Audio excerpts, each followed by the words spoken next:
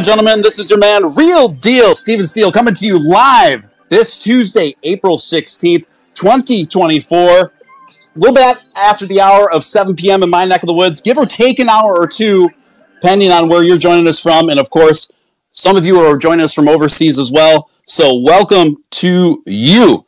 We've got an exciting, exciting space. Listen, Trump Tuesday is our station as MAGA meme coin is sweeping the nation. How about them apples? Uh, we've got some incredible news coming your way tonight. Sit tight for that, of course, as we discuss uh, the news cycle and all things Trump related since the last time we have all convened. And of course, the exciting, magnificent things that we've uh, been at work on with MAGA meme coin.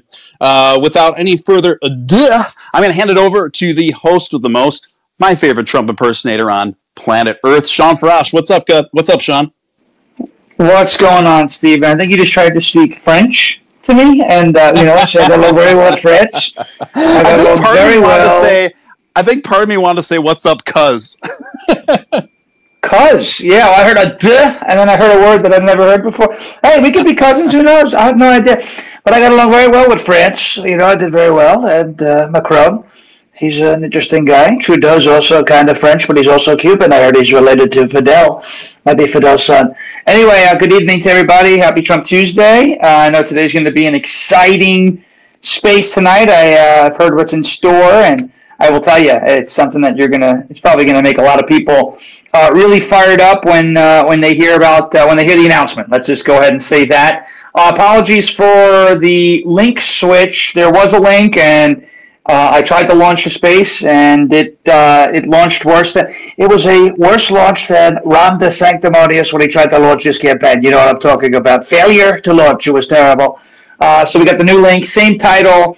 Share it out to everybody who you know. Uh, let's get everybody in here to get hyped up about this announcement. It'd be really big when that does occur. Obviously, there's been a lot of things happening in the news cycle. There was uh, the attacks on uh, Israel over the weekend from Iran. And I don't really want to get too much into that because you know all the details are still getting out. Um, but the big news, Trump related, actual Trump related news, is this trial out of Manhattan, where you are seeing the full, the 100% full uh, results, the full uh, uh, strength of this government at work. And uh, if it's not getting you upset, I really don't know what will. And I'm not here to anger people. I don't want to you know, be that guy who radicalizes people and all of a sudden, well, I heard this on a space and so I'm going to go do something terrible. That's not what I'm encouraging. But what I want everyone to focus on is just if they can do this to Donald Trump, if they can go ahead and, you know, uh, gag order him over factual information regarding this uh, this judge's daughter and who may or may not have a financial interest in the uh, in the case here um, if they can go ahead and do that to him, they can do it to you. And my my thought process has been like this before Donald Trump. The less involvement the government has in my life, the more free I am, the more free my family is. Uh, you know, and, and, and the better off things are. You know, with less government involvement, things are absolutely better off. And um, I think you're seeing that now this trial in Manhattan. I mean, to tell the guy and the case is is is garbage. Like it's a, there shouldn't even be a case, right? I mean, there's a letter from Stormy Daniels and Michael Cohen letter, right, that this whole thing never happened and Trump had no knowledge of it, and et cetera, et cetera. The case, that there should be no case, okay? Um, but there is one because Alvin Bragg is a tyrant. He is funded by George Soros, like that NGO that I'm sure everybody has heard about this morning. Um, that is telling illegal immigrants to come here and vote. So the left told us that it would never happen. Oh, it's only going to be rare. It's not going to happen enough. By the way, a non citizen voting in our election, someone who does not constitutionally have the right to vote, one is more than enough. Uh, and that should be where it ends. There should be safeguards in place no matter what. I mean, especially for a party that calls itself the Democrat Party that wants to use, you know, the democratic process, one vote, one voice, right? One person, one vote uh, you are now taking the weight of the vote of members of their own party, whether they are uh, you know, voting citizens, women, black Americans, white Americans, Spanish Americans. You're taking people who are registered to vote, making their vote mean less because you are now encouraging people who do not have the constitutional right to vote to participate and vote in our elections. And you just can't do that. I'm sorry. That can't happen. And it's up to everybody uh, at, at the state level to make sure that their states start to implement safeguards for the election because federally, government just doesn't have that power. I know everyone say, well, we can pass legislation. No, you can't. Federal government does not have jurisdictions over your elections. It is 50 statewide elections when it comes to uh, presidential races. Anyway, we move on from that. We look at this situation in Manhattan.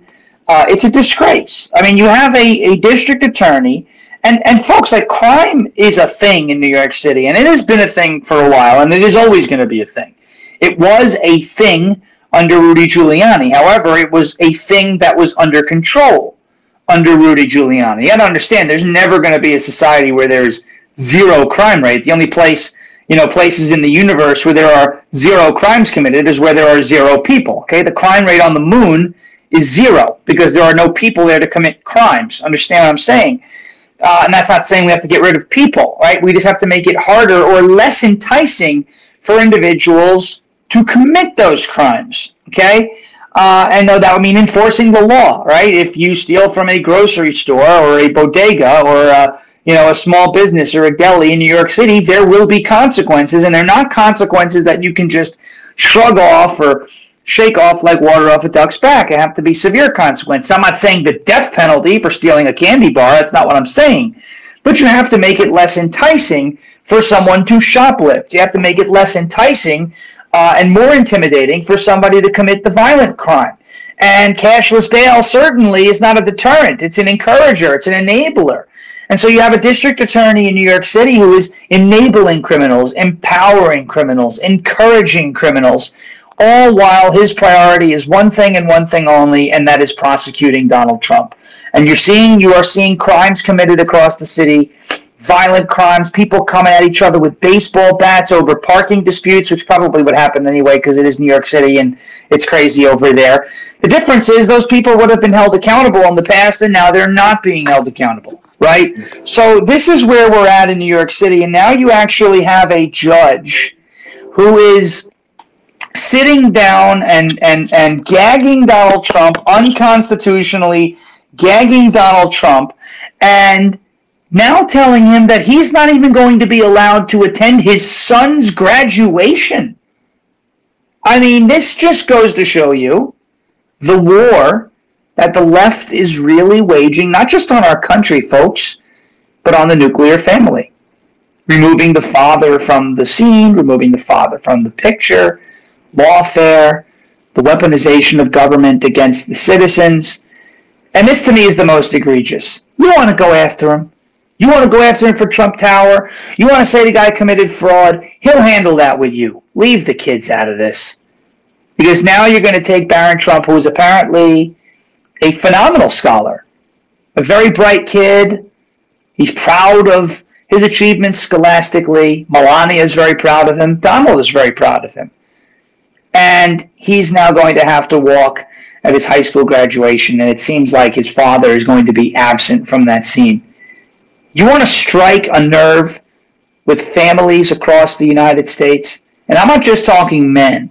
I'm talking women too. You want to play up this abortion role, and, and I'm, I, look, we, we can get into a pro-life debate on a different space, okay? Or a pro-choice, whatever you feel. I think Donald Trump's handling of this issue has been pretty good, saying that it's a state issue because constitutionally that's what it is based off of what the Supreme Court ruled. But you want to look at a mother, you know, a suburban mom who is pro choice, let's say. She thinks that it's a woman's right to have an abortion. But then she sees, you know, her high school senior getting ready to graduate. She sees the judge tell Donald Trump that he's not allowed to attend his son's graduation. That mom is looking at that government and saying, you know what? That's too much. That is too much. And I think the more, this is the thing, the more they flex their muscles at Donald Trump and try to intimidate him and his supporters with gag orders and prosecutions and all of this. The more they do that, I think the more it reverberates in the political sphere, and it starts to shake all the way down to normal voters who don't give a shit, who now all of a sudden do give a shit. Pardon my French, but I've, I've been wanting to drop foul words on my show all week, and I, I'm not supposed to do that, and I don't do that, and I don't want to do it here. It's just, I'm very upset about it because, again, if they can do this to Trump, they can do this to you the normal everyday voter who realizes that things are expensive in the supermarket and realizes that the wars around the world and the world's very unstable and realizes that there's an influx of people coming across the border and sees these changes but doesn't understand it and then this Trump trial is in the news and they see them keeping a father away from his son's graduation that could be another one of these moments a mugshot moment I call it you know what I call it it was the Mona Lisa of mugshots. Nobody's ever seen a better mugshot. You know that. I know that. We all know it. That was beautiful. They didn't expect it. And we raised a lot of money, and it's a beautiful picture. More beautiful than some of the paintings that Hunter Biden painted when he was on crack. And, you know, he smoked a lot of crack and did a lot of that. You know, people see that. They saw the mugshot and they said, really? Right? People are now going to see this, this gag order. He's not allowed to respond to the ambushes that he's being put through in the press and it's going to make him a sympathetic figure. It's going to martyr him. There's going to be a Mandela effect here. If he violates this gag order and they want to impose a 30 day jail sentence and they go forward with it, Donald Trump is your next president and it ain't even close because you've seen the reaction of people in the media over of Vladimir Putin. They say, oh, he jails his political opponents. Castro, these Middle Eastern countries, some of them do it. And we hear about how, oh, it's fascist and we wouldn't want to do that. And now all of a sudden, if they do that to Donald Trump, for what? For saying the judge's daughter is corrupt? She is. Everybody can see this evidence out there. If you don't know what I'm talking about, Laura Loomer exposed it over a month ago about how Judge Juan Merchan's daughter ran a firm that was tied to Adam Schiff, donated to Joe Biden, donated to Kamala Harris. She has a financial interest, a financial stake in the case that her father sits in. It's unbelievable, right? So all of this is going on. Jury selection is going on in New York City, and the American voter is watching. And fundraising numbers are beginning to tick up. And I don't think anyone, I really don't think the majority of people care about the verdict. I think what they're most concerned about is the treatment. Is this going to be fair? And it's happening in New York. It's not going to be fair. And unfortunately, it's a double edged sword, right? It's a catch 20. It's like a win lose for us, right? The, the more unfair it is, the worse it is because the government's flexing its muscles and setting dangerous precedents. But the more blatantly unfair it is, the better it is for Trump to get his message out to the American people. Say, hey, look what they're doing to me, and they will do this to you if you don't stay in line. They're going to get me out of the way first, and then they're going to do this to you. And when I say you, anything, anybody who's listening to this space now, later, whatever, that you are passionate about. You're passionate about fitness? Well, guess what? Running has been linked to white supremacy. If you go running, you're a racist. You're passionate about diet, nutrition. Well, you know what? If you don't accept the fact that you have to eat bugs to get rid of cow farts, you obviously want the climate to change so drastically that the world ends. You're, you're, you're, you're passionate about crypto, money. Well, if you don't step in line or fall in line and accept CBDCs so that the government knows exactly what you're doing, you're a financial terrorist, right? You saw what they've done to J6ers. And that's the last thing I want to talk about is this Fischer versus the United States hearing today in front of the Supreme Court major, major case where the application of the uh, 1512, the um, DOJ 1512, obstructing an official proceeding, the arguments were heard in Fischer versus the United States, and a lot of people are saying that they expect that application, the way the DOJ has been using that against January 6ers, to be ruled inappropriate. Meaning, it overturns a lot of the sentences, the 350 plus J6ers who've been charged with that it will overturn those convictions. It will wipe them out. Donald Trump has also been charged with it. And the argument is that that law, that obstruction of an official proceeding, 1512 sections 1 and 2, uh, were put in place to, to deter or to punish evidence tampering and witness tampering, not occupying a building and trespassing. There is already a law on the books that makes insurrection illegal. If there was an insurrection on January 6th, why was nobody charged under 18 U.S. Code Section 2383, the Rebellion and Insurrection Act? The easy answer? Because there was no insurrection, and they couldn't get away with charging anybody under that act. So you're watching as the weaponized government continues to A, flex its muscles in the Trump case, and B, watch some of their strongest and most effective cases for messaging purposes and narrative construction fall apart. That Supreme Court ruling is supposed to be in June. I do like to look at it and say, you know, while it looks bad now, these illegals coming across the border, they're being told to vote for Joe Biden. While these things are scary, they're meant to demoralize us, and you just can't let that happen. So I say take a step back, take a deep breath. Look at everything and look at yourself in the mirror and ask yourself, what can I do? Can I organize at the state level to get voter ID and, and election integrity uh, measures passed? Well, you can. If Scott Presler can do it, you can do it. But Shawn, I have a job. I understand. Everybody does. Everybody's got to work.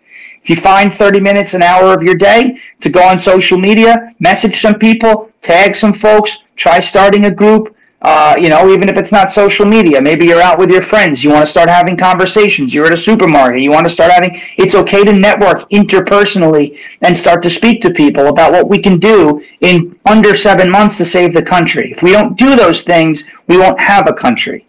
So we're in now or never territory, but the good news is the power rests in our hands. The good news is from a standpoint politically, the more they go after Trump, the stronger he becomes. It's like Obi Wan Kenobi. If you strike me down, I'll become more powerful than you can possibly imagine. And I think we're on the precipice of that. Also, good news is that RFK is going to be on, he says he's going to be on the ballot in all 50 states, and that's going to hurt Joe Biden, and we've seen the left panic over that as well. In a three way race, Donald Trump leads very comfortably. That doesn't mean take your foot off the gas if RFK is on uh, on the ballot in all 50 states. That means push even harder.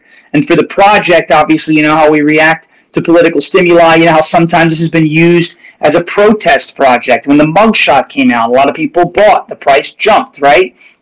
We increased our holder count, which is always increasing day over day.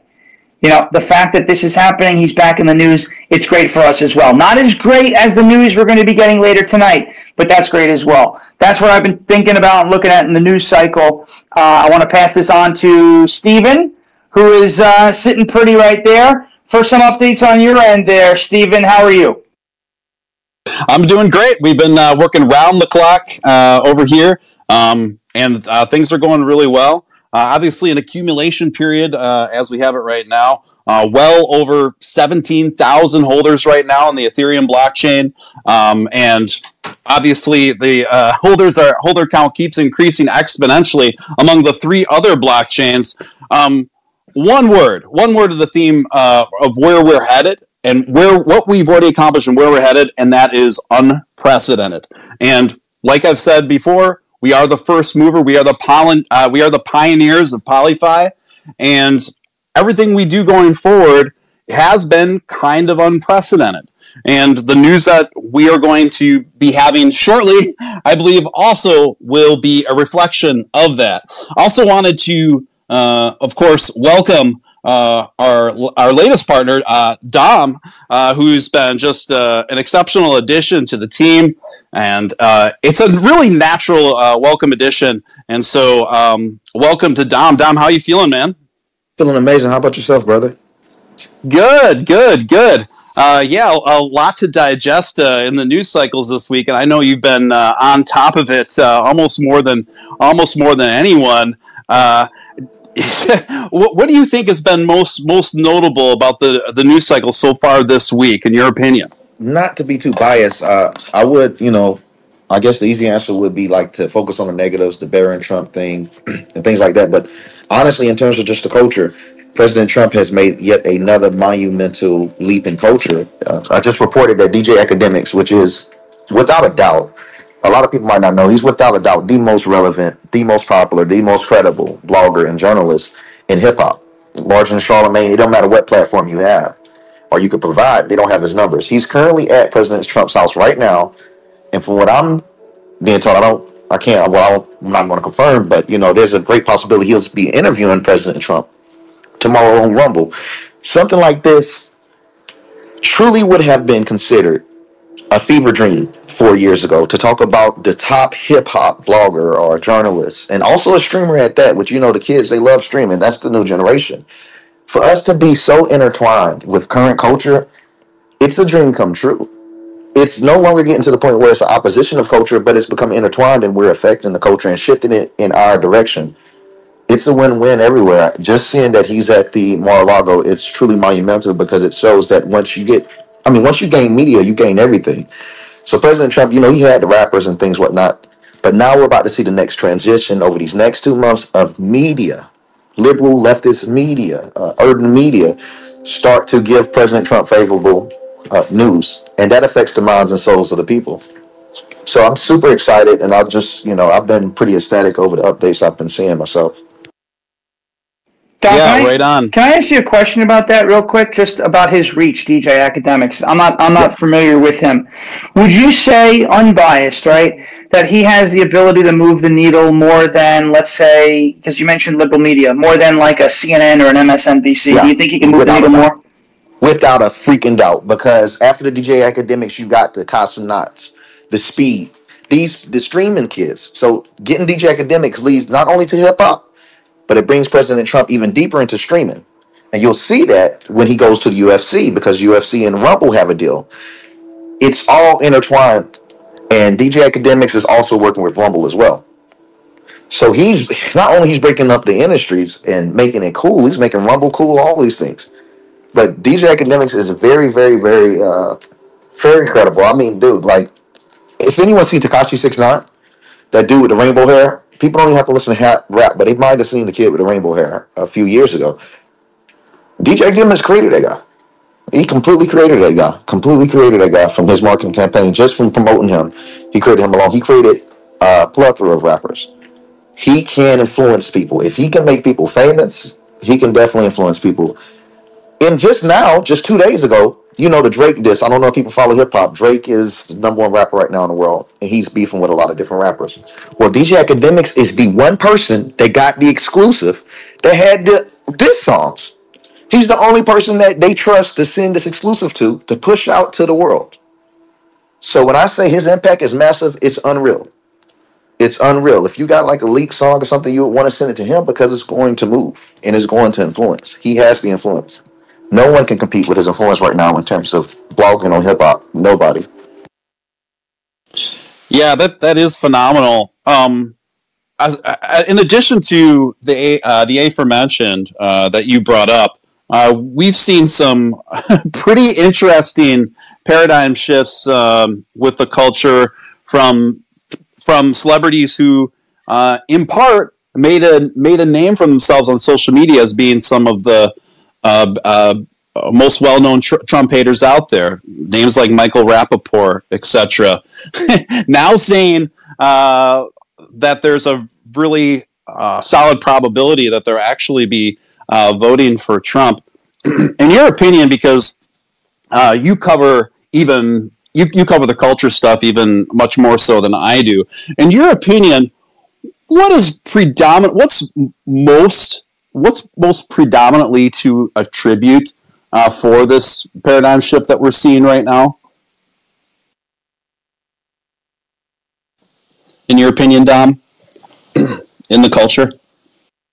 It just not broke out, but I heard you know, last thing you said, in my opinion, for the culture. Yeah, yeah, yeah. In, in, in your opinion, what do you what do you attribute this paradigm shift mostly to? Oh, oh, oh, man, easily council culture. We give all praise to council culture. We give all praise to council culture because I witnessed it myself, and all of you did as well. How conservatives lost the culture. I don't know if you guys too much remember. I mean, I'm only 30 years old. I just turned 30 this year, but I distinctly remember that growing up, that media was conservative. I mean, look at all of the movies we had, Rambo, etc., Expendables, and all these type of movies uh, that exist way back then. Die Hard. It's all about a masculine man. They always have the hot girl, the wife, damsel in distress. All those things are actually conservative. If you look all the way down to Fresh Prince of Bel Air, they have to say grace every time they about to eat. You look at the movies, I mean, TV shows before that, you got Good Time, where it talks about the dangers of gang banging, the dangers of not having a nuclear family, the dangers of, of doing drugs. These were conservative values being instilled in people. Fresh Prince of Bel Air talked about fatherhood, you know, talked about the dangers of hanging around the wrong crowd yet again. And they also praised God had church episodes, had episodes of them saying grace. It wasn't until conservatives started canceling liberals and mainly homosexuality that they got the amount of support they have now to where they took over Hollywood and they took over the American culture because once you try to counsel people so far and you push them to a wall, they become the victim. Now, one thing about the American culture, we love the underdog. As soon as someone becomes a victim and underdog, it's only a matter of time before they become the dominant leading party because the patriotic spirit itself is about fighting for the underdog. That's just the American spirit, uh, spirit, the citizen spirit. We started burning Harry Potter books. We counseled hip hop conservatives. We counseled rock and roll. We counseled TV shows. We counseled anything with homosexuality. We counseled a lot of things. We, we, we truly did. And it led to liberals getting more empathy from Congress, from Senate, getting more laws passed in their favor to protect them. Because once people are being pushed so far, now they need protection. And once the government starts to protect you, can't nobody touch you. And we all can agree on that. And we're seeing that happening now. We're starting to see the government protect conservatism yet again. Nothing new is under the sun. We're just seeing the next transition in what was already. Yeah, thank you for that, and uh, yeah, super super keen insights and an interesting perspective there. Yeah, we we kind of saw. I kind of con- I concur with you. We we saw the pendulum swing one way, and then there's an ev- inevitable backlash to, for lack of a better term, the left egregiously overplaying their hand for so many years and just completely dominating the culture in every facet, from music to movies to film to uh, literature, etc. And even the the Zoomers that uh, I'm friends with and talk to, and my nephew, etc. There is definitely a, a strong backlash that uh, has been brewing uh, um, among large segments of that generation because uh, what what young person likes to be force fed their their ethos, you know, at, at every facet, and and now uh, since the left has dominated all our institutions so heartily, um, it's not cool. it's just not cool at all. And so it's kind of the Streisand effect kind of going on with Trump here is don't listen to that guy. He's very dangerous. Don't listen to him. And the more they tell uh, people not to listen to him, I think it's having the opposite intended effect. Yeah. I love what you just stated with saying it's not cool because that's more exclusive to the youth. So something I noticed when I had started last year, I had created a Generation Z group called More Blue, we got like 15,000 or so followers or something, I think, in like a month or two. And we were just recruiting Gen Z, uh, Gen Z people of the Gen Z generation just to have a larger platform. So I was using my platform to promote them for free and things because Joe Biden stated that he was going to start focusing on Gen Z. Know if you guys remember, they were focusing heavily on Gen Z propaganda last year. So I spent the time, trying to put a lot of young conservatives in position, try to extend the platform out to them. But one thing I learned by those short four or five months of working with Gen Z is how their culture is. It's so anti, and I'm not talking about just conservative Gen Z.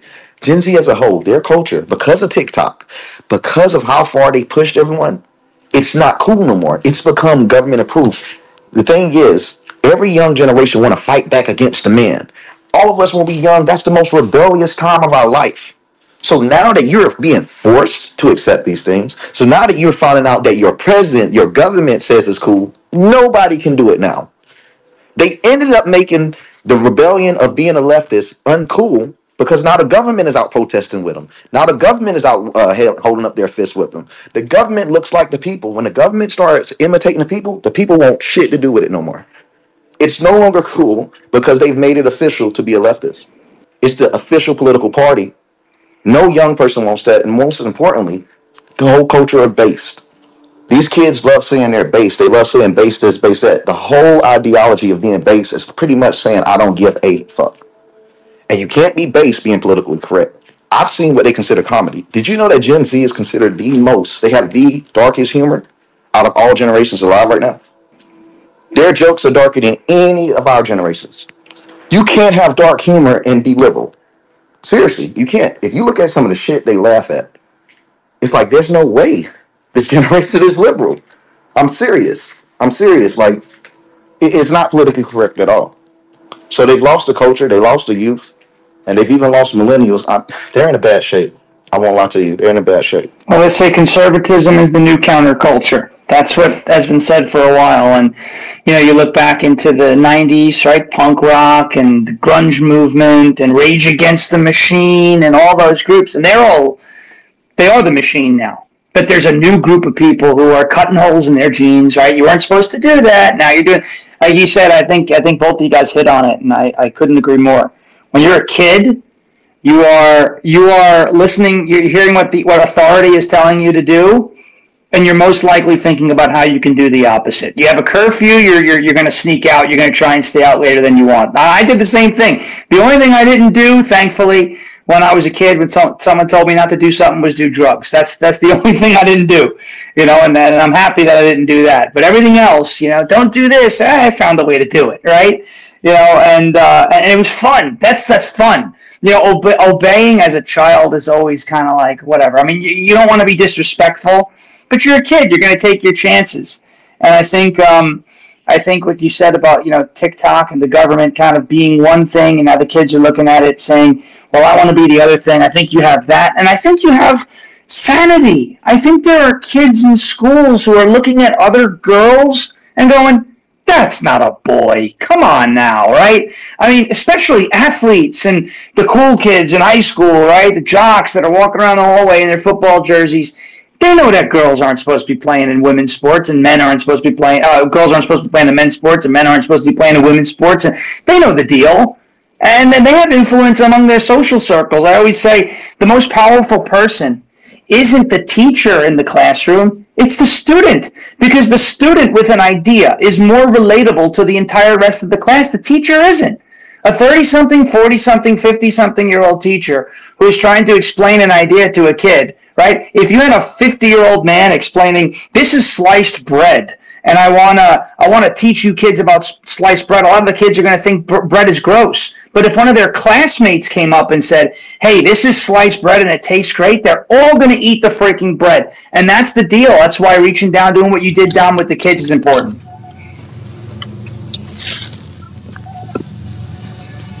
Yeah, absolutely.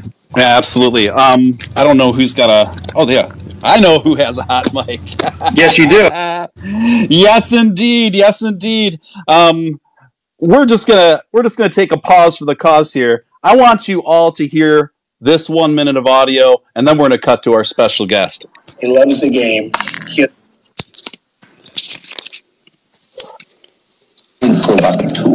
He loves the game he has fun with it, and he's very good at it. I'm an agent provocateur. Win at all cost mentality.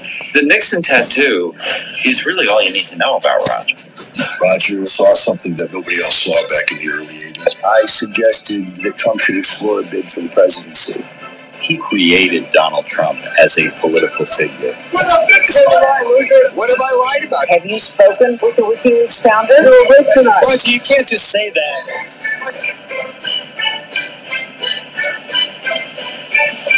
I revel in your hatred because if I weren't effective, you wouldn't hate me.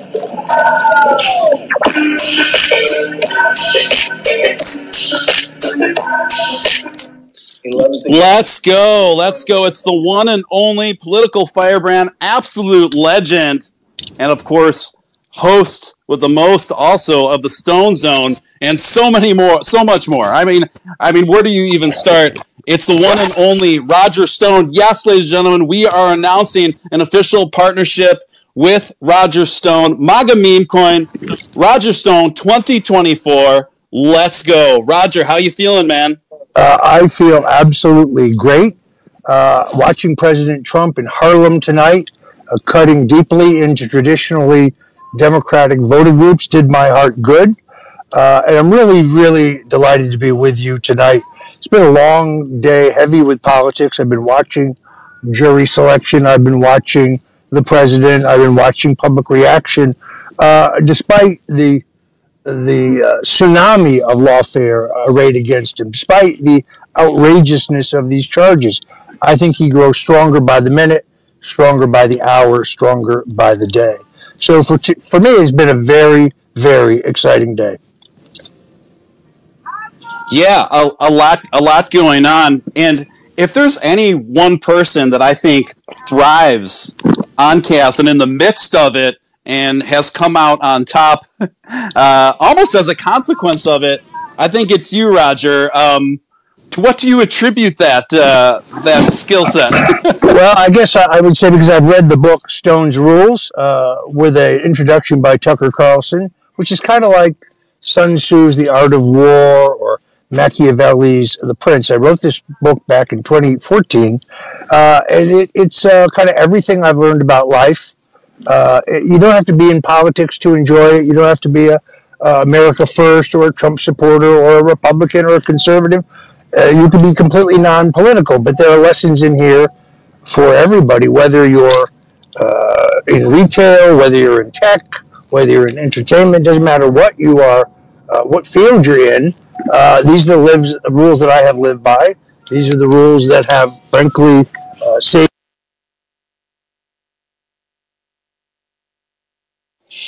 Uh, you broke up just a little bit there, uh, Roger. Hopefully, we can uh, get you back uh, real shortly. Go ahead. I think you're back. Um, okay, I'm sorry. Uh, yeah, so back. that that is what that is to what I have uh, attributed my longevity. And I'm really look. I, I'm new to crypto, but because I work uh, with a lot of young libertarians who are very hip to it, uh, many people told me I even heard about MAGA meme coin uh, before I read about it. Before you guys talked to me, uh, and I'm very proud of this strategic partnership. I mean, uh, yes, ab-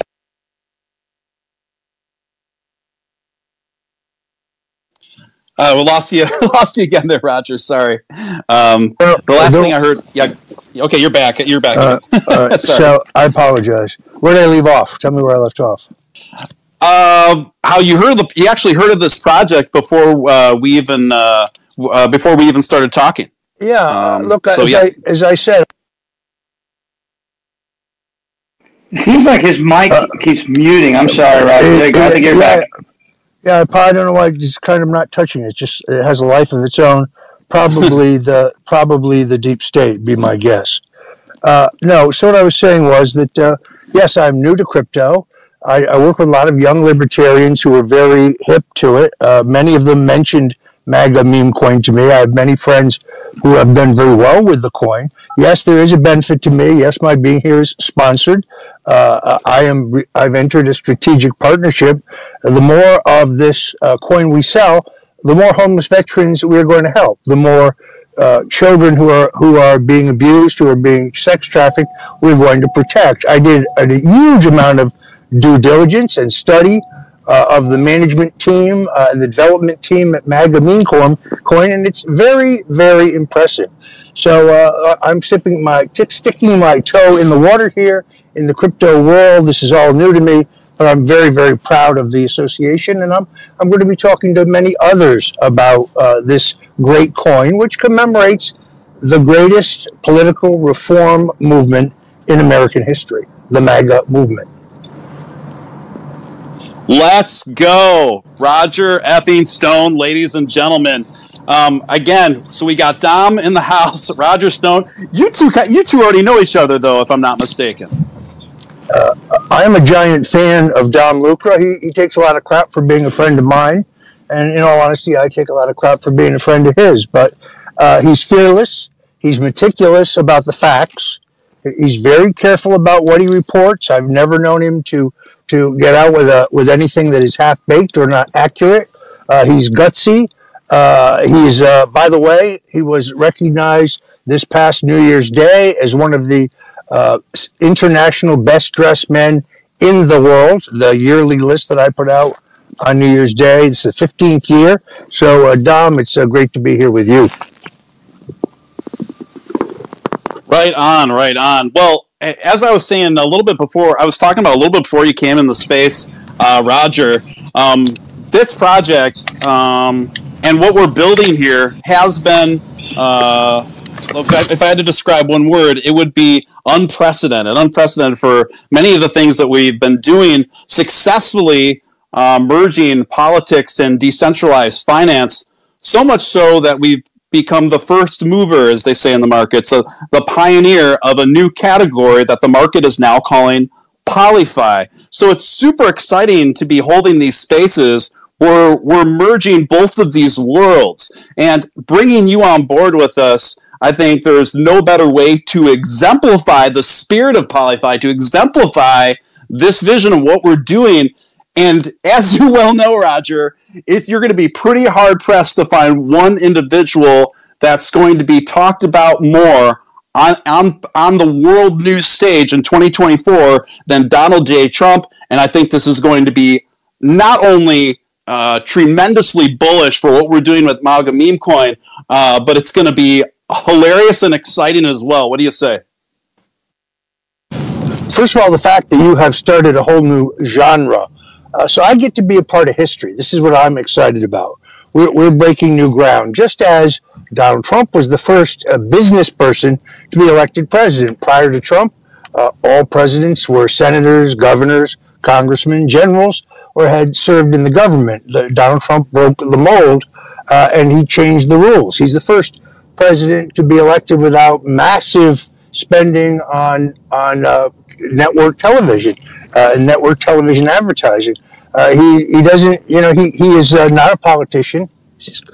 Uh, he's uh, he's a political leader. He's the leader of a movement. but he's he is his own man. He's not scripted. He's not handled. He's not managed. He's very much his own man. and the fact that you guys are making history uh, is very exciting to me. I'm really, really excited about being a part of history. We're going to change the whole industry, I believe. Yes, let's go. I, I love it, and that's exactly where our head's at as well. And uh, I believe that the the energy is just going to keep going into this project, and also just kind of this has kind of been a de facto rallying cry of the whole populist MAGA movement but on the blockchain. So it's just kind of an, an, extension expression from that to a degree that we've never seen before. Now, of course, inevitably, we've seen a lot of uh, copycat projects kind of trying to harness or uh, some of some of the energy of what we're doing. But look, folks, there has never been a more successful um, charity project with uh, philanthropic attributes as this one. We are nearing in now on nearly $2 million uh, in Ethereum donations to our charity partners uh, to both fight child trafficking and house homeless veterans. Consequently, and I was talking with Roger about this uh, the other day, um, in part due to what we're doing here at MAGA Meme Coin, the uh, homeless veteran population in the whole Broward County area uh, area has has dropped significantly, significantly. So it's super rewarding. Obviously, we're all here for gains too, right? We are, we're all here for gains, all, and there's been extraordinary stories of people that have been with us since the beginning, turning two thousand uh, dollars in Ethereum into two million dollars in Ethereum. And we're going to keep hearing more exciting stories like that. But it's also great that we're bound by a, by a common ethos uh, that's uh, bigger than ourselves. You know what I mean, Roger? Uh, I completely agree. Look, we are we're capitalists. Uh, we're entrepreneurs. We're businessmen and businesswomen, and we understand the economics uh, of what we're engaged in. Uh, but I also think that it's it's important that, to make a statement, uh, and that statement is that Donald Trump has changed the face of American politics, and certainly the grassroots of the Republican Party. Uh, this will continue beyond Donald Trump. Uh, that's why these coins are only going to long-term gain in value. Uh, and you're right. There's a lot of copycats out there. I saw that when I be- began my due diligence. Uh, but uh, your charitable record is impeccable based on all my research. I think we're the only ones now doing that kind of thing at that kind of rate. There's a lot. There's a lot here to be extraordinarily proud of, uh, and uh, I'm just uh, I'm a little in awe, and I don't get in awe, but this is a very exciting night for me. Well, we're thank you so much for that, and we're we're we're super stoked and simultaneously humbled to have you here. Uh, and again, uh, as um, as the A team used to say in the '80s, I love it when a plan comes together and things are really coming together as as the election season just starts heating up. Dom Lucre, Roger Stone, Jackie Dutton, Shawn Farash, and you're a man. You're a man. Uh, real deal, Steven Steele. Uh, and we're gonna keep keep bringing it uh, every Tuesday, guys. And um, uh, we are just getting warmed up, just as this election season uh, just keeps heating up, and just as uh, all eyes are going to be on Trump and the MAGA movement in 2024, so will consequently they be on MAGA meme coin. Now, when we first started holding these spaces um, I stated my intentions as marketing director very clearly, setting my uh, setting the aspirations very high, where this would uh, eventually uh, be very well be so well positioned that it would be rivaling the likes of Shib, Shiba Inu, and Dogecoin. Uh, certainly, many, uh, not many, but a few people had uh, reservations about such levels of optimism when we were floating around 1 million, 2 million, 5 million, 10 million market cap. But now that we are trading uh, with great stability around the 200 million market cap um, and also accomplishing the amount that we have uh, in the uh, in the nine months that we've been in existence, it doesn't seem far fetched at all.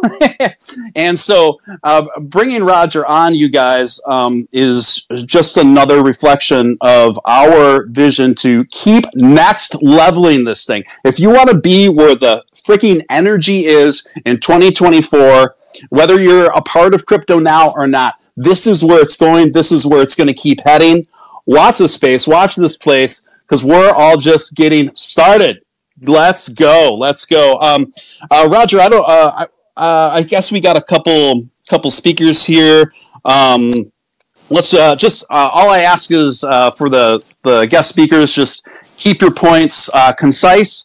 and if you have a question for Roger or uh, make sure that uh, we just ask that uh, keep things concise and respectful. Um, so let's go to Zeno. What's up, Zeno? Hey, Steven. What's up? What's up, Shawn? Uh, wow, you guys got Mr. Stone on the show. Mr. Stone, uh, honor to have you on. Um, the I'm glad that you uh, you did your due diligence on this token. Uh, we put a lot of, of thought and effort into the early days of this token, um, forming the foundations so that it could be um, so that it could withstand the political uh, what you, you might say tempest uh, of the election cycle. And uh, the integrity of this token is is un, is is I would say um, rather unparalleled in this space. Crypto is known as an early technology, as all early technologies uh, uh, are prone to. Um, a lot of grifting and whatnot, and and and shady dealings. But this token in particular uh, avoided all of that. And uh, we in part did that with the with the donations, as you mentioned. Um, a lot of tokens with taxes say that they're doing donations, and then you know they do a few, but then they they eventually just pocket the rest of it. But uh, us, you know, we've been posting the uh, the blockchain data of the donations since day one, so all of it's verified on the blockchain indelibly. Um, you you cannot. That's one of the things you said that you speak to a lot of young libertarians, which is good to hear. Um, and I think I think you, you implied perhaps that many of them were in crypto. Um, uh, we're trying to get across the idea, the mission of this token, primarily, is not just to help Trump in the election, right, financially, because we've given him quite a bit quite a bit of money. Um, even by his standards, I would say.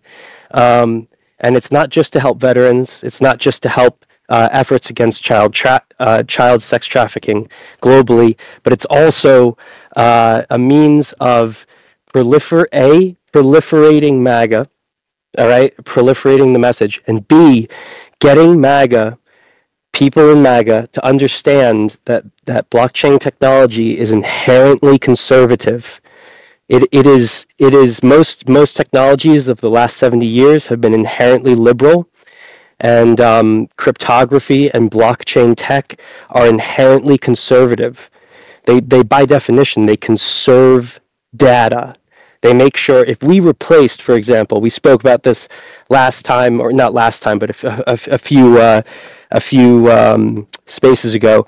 But if it, if we were to replace the voting system with a blockchain system, um, you could theoretically have your own node on a network that ver- that validates and verifies the uh, consensus of the voting system in your municipality. This would completely decentralize and make the voting system trustless, which is a good thing. In crypto, trustless means that there's no need for an intermediary party. There's no need for a third party. There's no need for someone on the outside in the private sector to come in and say, don't worry, guys, we've got it. Trust us. No, no, no. We want a trustless system. We want to rely on technology that is inherently trustless. And so everyone can see uh, everyone else's votes, but without identity attached to it.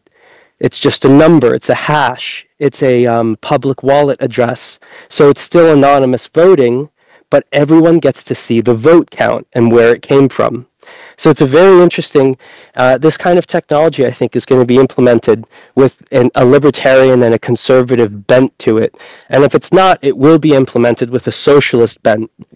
And, and that's what we don't want. We don't want a global reserve currency that's on a private blockchain owned by the IMF. That's what we don't want. So we're, we're part of our mission is trying to get MAGA to understand that this technology is different.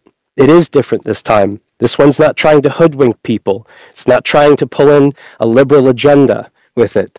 It's it's inherently conservative. I just wanted to say that and, and thank you for coming on and, and, and joining us in our in our effort. Well, let me address that if I if I may. One of the things that really attracted me to MAGA Meme in addition to your charitable activities uh, and your very cool artwork, was the full transparency of it. Uh, was the was the full disclosure, so people can see exactly what's happening. Uh, and uh, you're right. There's a lot of imitators out of there. I admit that I'm new to this whole to this whole uh, genre, but the good works you're doing Plus, uh, I think without any question, the coolest graphics out there, much cooler than I've seen on any of the other would-be uh, MAGA commemorative coins. So, uh, and my reference to young libertarians, perhaps it's just coincidental, but remember, I was in the Libertarian Party for two years when the Republican Party nominated uh, Mitt Romney. Uh, even though I was a former young Republican national chairman, had worked for three Republican presidents, uh, I left for a couple of years because I couldn't stomach uh, Mitt Romney. I got to work with and meet a lot of younger, cool libertarians. It seemed to me there was a disproportionate number of them uh, in crypto, trying to explain crypto to me, inviting me to speak on crypto-based shows. I've done a number of other spaces that have been, uh, you know, about uh, about crypto. So it's uh, maybe that's a, maybe that's a good thing. I do I do agree with what you say about the need for this te- technology uh, to be espousing freedom, economic and personal freedom. Uh, I think that's one of the key uh, tenets uh, to to the entire MAGA movement.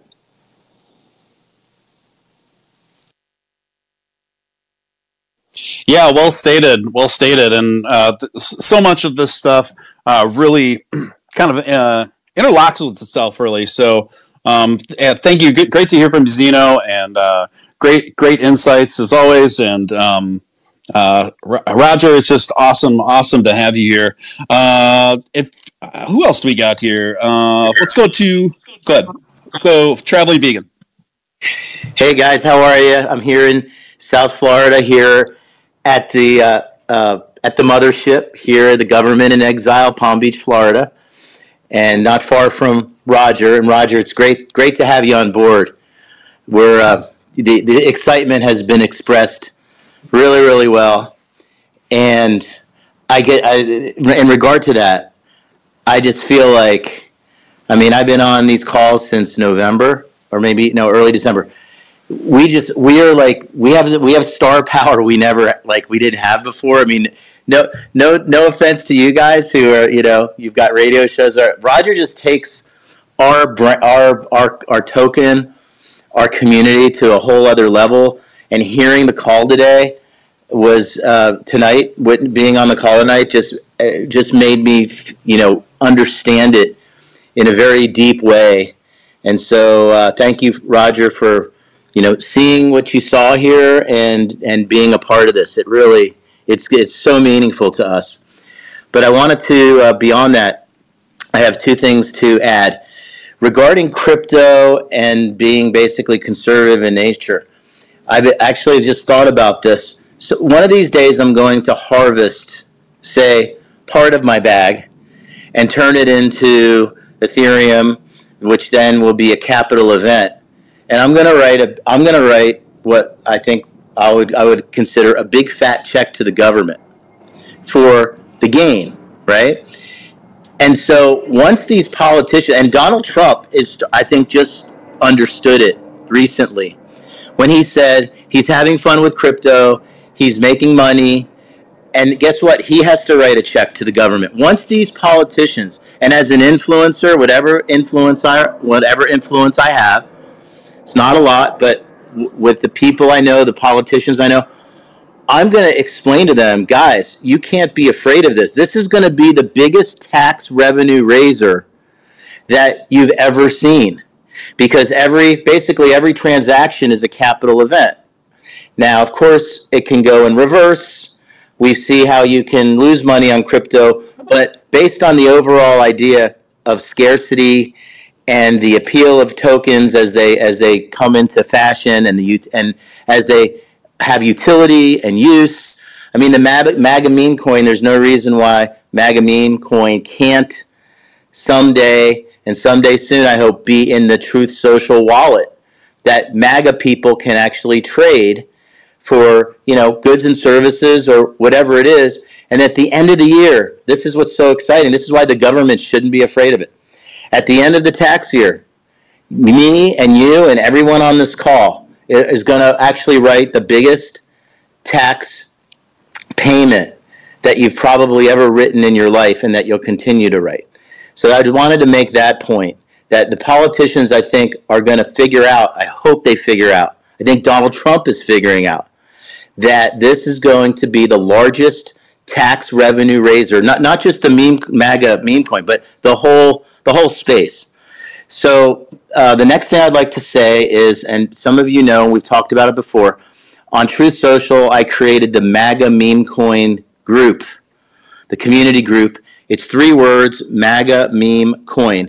And right now, I have a whopping 15 members on the on the in the group, and not all of us. I know that that uh, we're people here, folks here are heavy in Twitter, and that's great.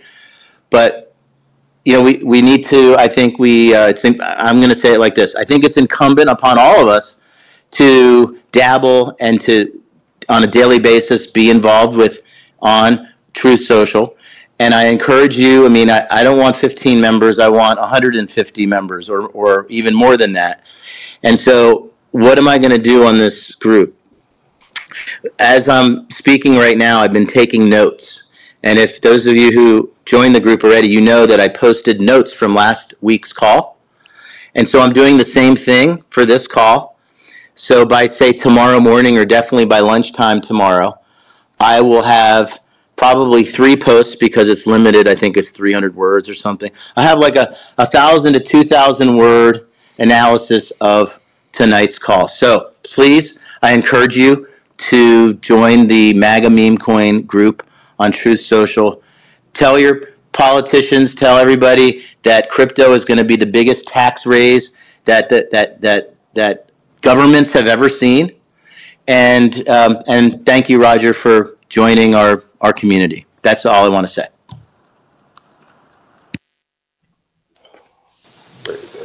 Uh, many, many thanks for your comments. You know, today I was working on the graphics because at the front page at Stone Zone com, I'm going to put up a, an ad where people can go to MAGA Meme Coin, where also where they can learn how to purchase it. It's a sponsored ad. We fully disclose that. Uh, and uh, we're looking at various different uh, graphic schemes based off of your your website graphics. Uh, and I said to uh, my webmaster, I said, you know, this is really historic. This is we're in on history. This is going to change uh, a lot in this space, and I, am particularly excited that you've kind of founded this whole new genre uh, uh, uh within the crypto industry. So uh, it's it's it's historic. It's exciting when the story of 2024 is written, and uh, frankly, history is written by the winners, and I intend to write it. Well, this is going to be very prominent in my next book, The Making of the President 2024 How Donald Trump Retook the White House. Well, Let's awesome. go. Amazing, go amazing. Now, you know, I want to toss it over to so because Roger keeps coming back to, and it's good to good to hear from you, Roger. Of course, we, we know you did nothing wrong. We know that. Same, we know absolutely what we're talking about. It's tremendous. You do a wonderful job. Um, I want to toss it over to Jackie because Roger keeps talking about be, creating this new genre. And it was actually Jackie Dutton who coined the term in these spaces, PoliFi, which is now across the crypto universe.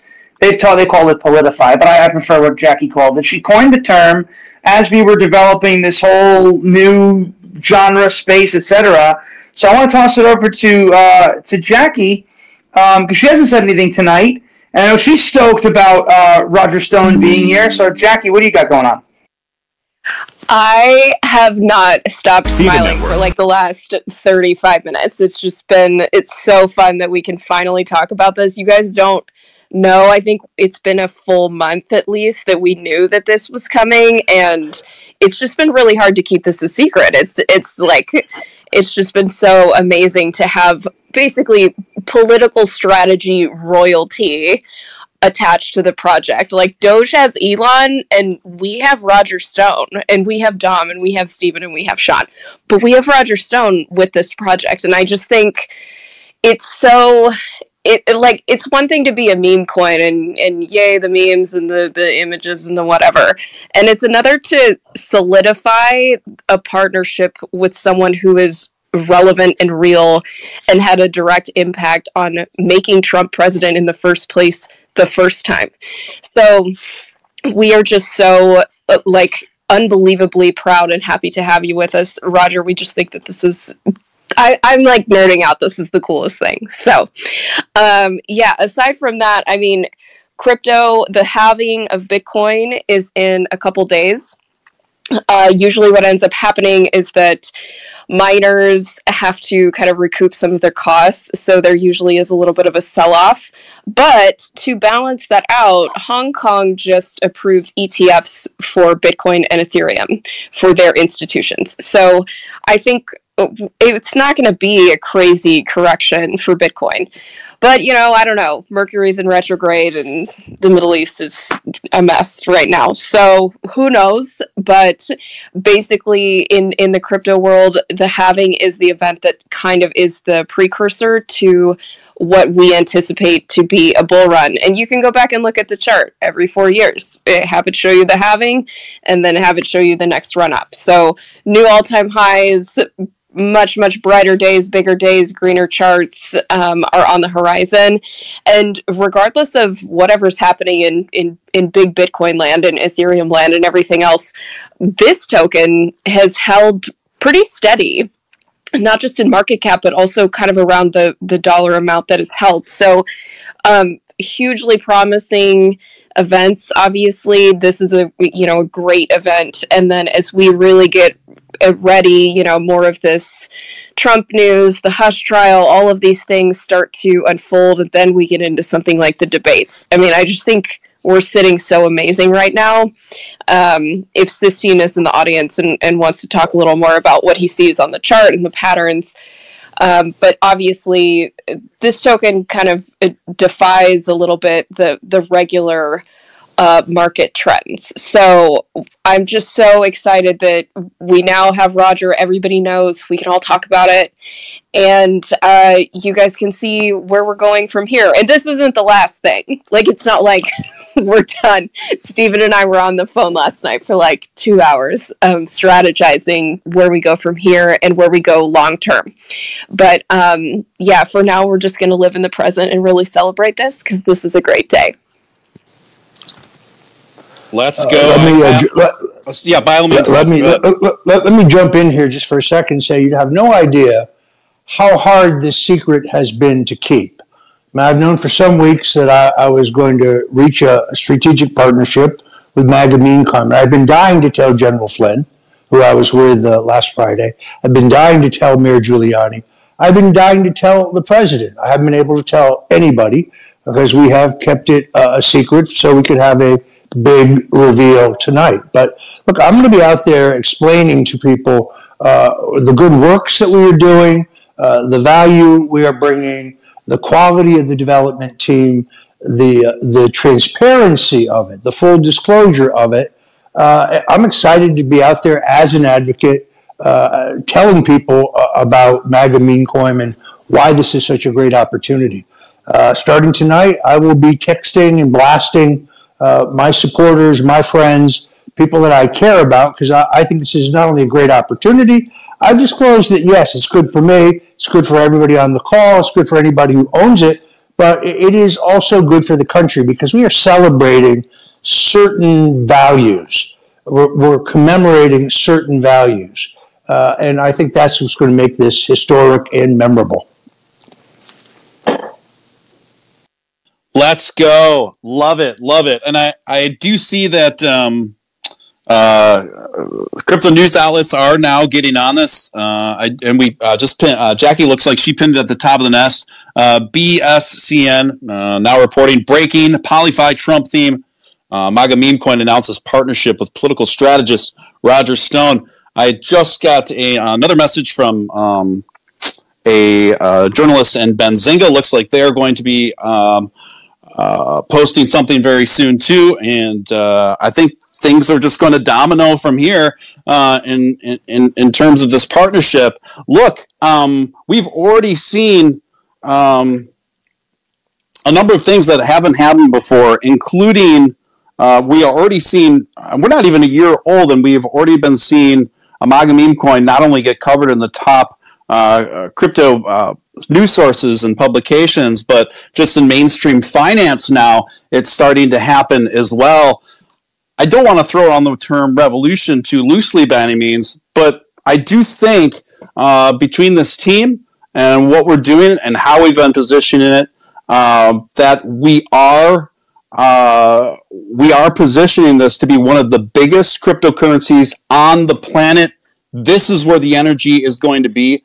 Trump 2024 is the theme. MAGA meme coin is the extension, is the blockchain populist movement extension of that. Um, I just onboarded two more people today uh, and uh, set them up with, uh, instructed them how to uh, buy some MAGA meme coin. They never bought a crypto before ever. Uh, one of them was actually my my doctor, uh, and he's uh, super excited about it, and uh, super ex- uh, he's super excited to be holding, be seeing that little Trump icon in in his position. So this is another thing uh, another one of our objectives with this is to onboard people in the space that typically wouldn't and it's been so much fun uh, interacting with not only folks like uh, Roger, but uh, bringing Dom on board and Phenomenology, who's here now too. Uh, people that I just have a genuine appreciation for, uh, for what they do, re- respectively, and to what they add to the culture. And we are setting up a legacy project, a culture, a culture coin, as we move forward, where not only are we uh, making uh, striding forward and making excellent gains together, but we are also giving uh, uh, significant. We're giving significant amounts back to things that really matter, things that are bigger than ourselves. Um, and uh, so, yeah, this is going to be a, a very, very exciting year. Oh, and speaking of how to buy and onboarding people, if you guys go up to the billboard announcements at the top, um, and you scroll back, there are the links for how to buy two different ways. If you want to just use the super simple, easy way, downloading the Phantom wallet and buying on Solana, um, that is the most user friendly, simple experience that, uh, in my opinion, exists right now. So that video is step by step with my Valium voice and my little. Um, my little like you know vibey music in the background and then um, the other video is how to buy and sell on ethereum the hardcore DeFi way connecting to uh, Uniswap. So if if you're a little if you're feeling a little more advanced, you can try that that one. Um, but if you get really overwhelmed and you just want to buy out Solana and use uh, the Phantom wallet, that is very user friendly and it gets you the exact same token, the exact same gains, whole, whole same same same all across the board. And you can find all these tutorials on the on the homepage, right, of the website. Yes, on the website as well, and in the Telegram. Um, and if you guys are ever unsure at any point, please don't hesitate to go in the Telegram, ask us on Twitter. Uh, there's no such thing as a stupid question, and I know that it can be a really overwhelming process. I know people who are software engineers, and it took them like two weeks to figure out how to buy their first DeFi token. So there's no shame in asking questions. It is still not a very user friendly process, but we're getting there. Yeah, Jackie, I think I speak for both of us when I say uh, even those of us who have been in crypto for a while have no idea what's going on. Exactly. Yeah. yeah, most of the time. Why do I have to do the what I don't even know how to set up a I've been told I need a node for runes and ordinals and all this like what? Like I don't even know what that is. But apparently I need it. Exactly. I literally just bought a computer for runes. it's like, what is going on? These are crypto problems. These are no one. If you said this to someone at the grocery store, they'd be like, "What?" They they have no idea. Exactly right. So don't feel bad. Ask questions. Always ask questions. No such thing as a stupid question, unless you're from CNN, and then it probably is a stupid question. Uh, there's a few. that's that's the rule. That's like my rule of thumb. There's a few folks in here who haven't. Uh, I don't think uh, our friend Anthony Lorenza. I don't know if he's ever spoken in the space before. Maybe once or twice, but he requested a long, a little while ago, and I want to get to him. Uh, he's one of our most enthusiastic supporters in the Telegram, very enthusiastic on Twitter, always sharing the content. And by the way, speaking of sharing content, how about uh, how about Jack Posobiec sharing one of the MAGA meme coin memes, meme tweets, world peace? Let's give it up uh, for Stephen and the team for developing that one and getting that out there. That got shared all over the place because in, in light of what happened with Iran. But uh, Anthony, if you're ready, if you want to speak. Uh, obviously, as Stephen said, you know we're trying to keep it short and respectful for for Roger Stone. We respect his time, but Anthony, the floor is yours. Welcome. Yo, what's going on, guys? I had no idea that I've requested a hand, but I will take the spotlight. I know you guys are probably uh, wondering what my voice sounds like. Well, you see my face, and now you get to hear my voice. So, congratulations, you win. Uh, shout out to the team Shawn, Steven, Jackie, Dom. Welcome to Roger, my Italian friend. I'm sorry if you hear my nonna in the background screaming and yelling. They got their friends over playing Scopa. So I'm sure Roger knows what that is. Well done, guys. It's truly incredible what's going on here.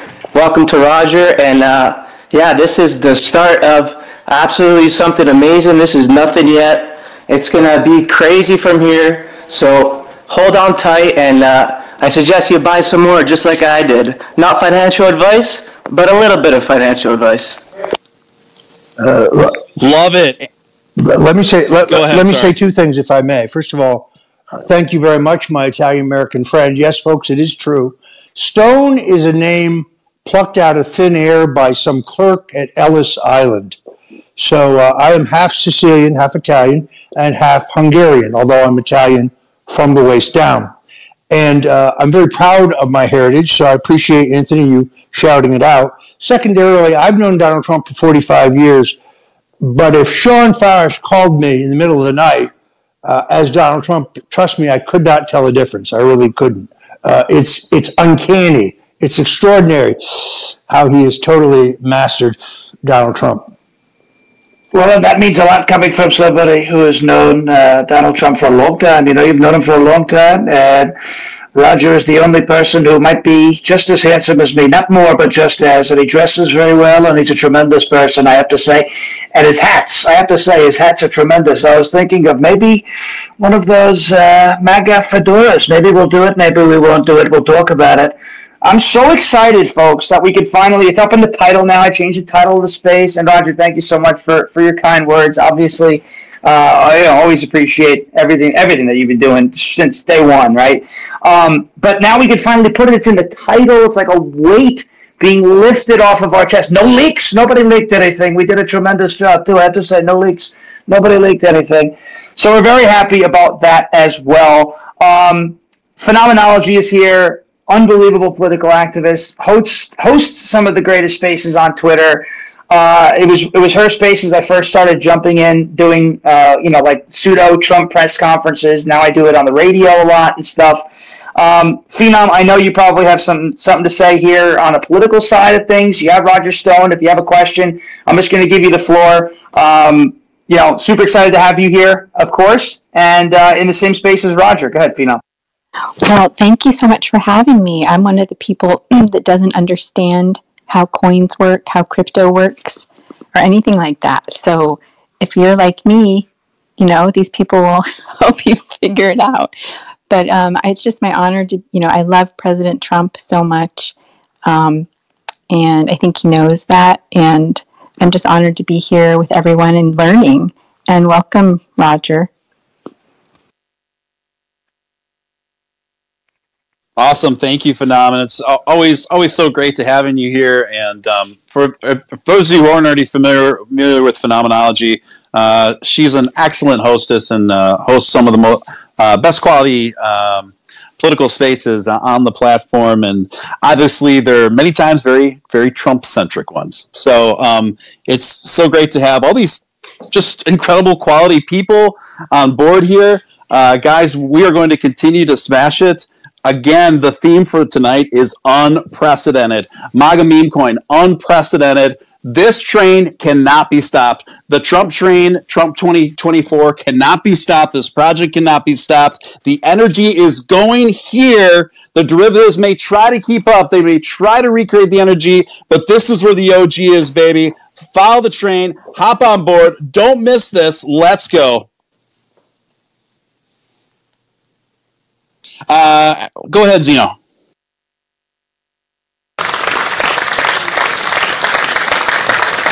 Uh, yeah, no, I just wanted to point out. I just, wanted to point out really quickly that um, uh, what Mr. Mr. Stone was saying about uh, the the um, PoliFi um, genre. Uh, th- this is so so so just really quick from the start.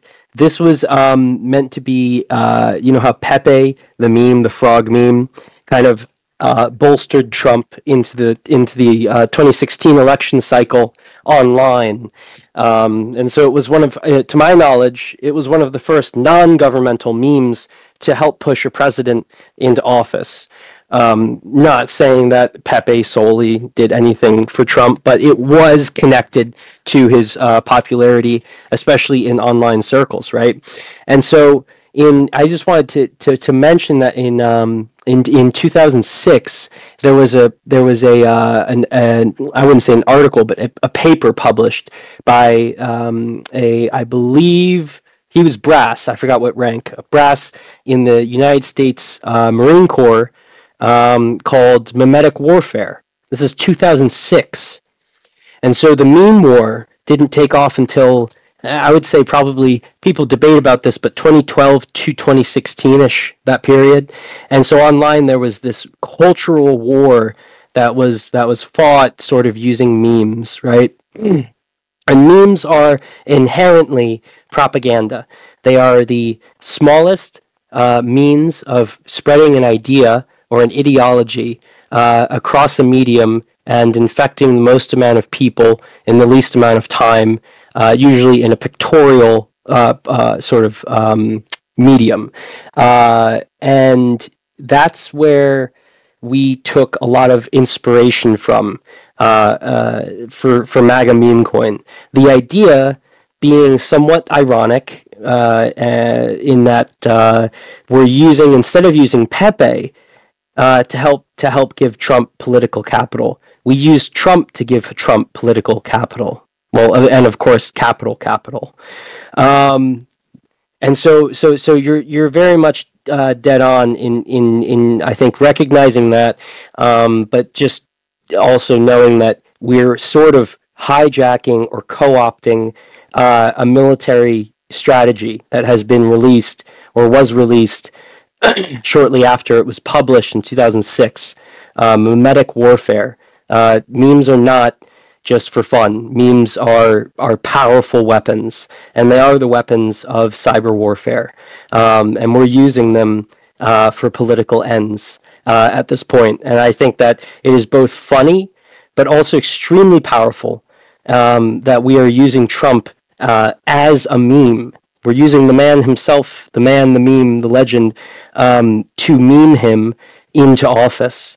Uh, and the fact that we are generating some degree of, you know, capital from that for the cause, uh, ex mimesis, uh, if you will, is is incredible, and it is part of this new sort of uh, online um, mimetic market or cultural market that's occurring uh, very much in crypto, right? Uh, and, and, I think it will spread into more of a Web two crowd uh, under different names like digital assets and stuff like that because they don't like the term NFT and whatnot or token.